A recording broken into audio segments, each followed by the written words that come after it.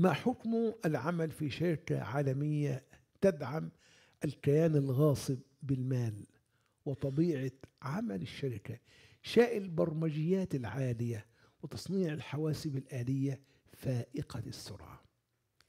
الجواب عن عن هذا أن التعامل مع الحربيين مباشرة أو من خلال بعض الشركات التي تدعمهم على أصل الرخصة في غير السلاح والعتاد.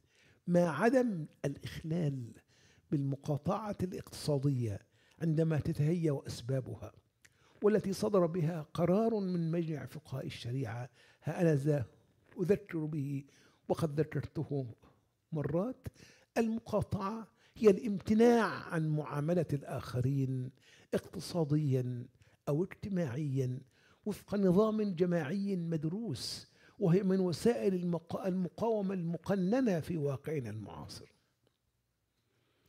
وإذا كان الأصل هو حرية التعامل في الطيبات بيعا وشراء أيا كان المتعامل معه برا أو فاجرا مسلما أو كافرا فإن المقاطعة عندما تتعين سبيلا لدفع صيان أو كف عدوان فإنها تصبح من الوسائل المشروعة للمقاومة بل لا يبعد القول.